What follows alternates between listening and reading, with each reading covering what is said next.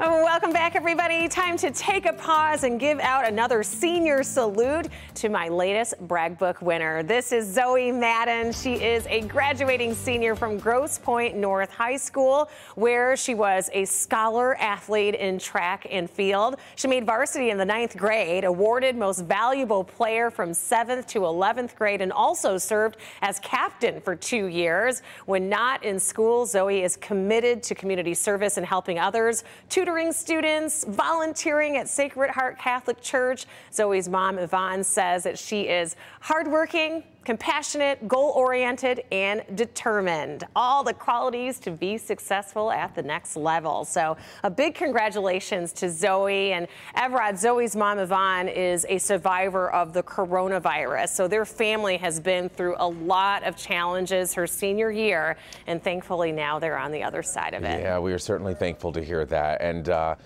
we love hearing stories like hers of, of students that are graduating. And yes. if you know of a deserving student for Rhonda's Brag book, nominate them by going to clickondetroit.com slash mornings. And you can search for Rhonda's Brag book there and nominate I mean, our entire class of 2020 Absolutely. really should be in your brag book. We'll, we'll, we'll talk about them you during the commercials and, and, brag about them. I, I, was going through the nominations, and there is a nomination for like an entire class at a school. so we're, we're going to get to that one too, but oh. definitely.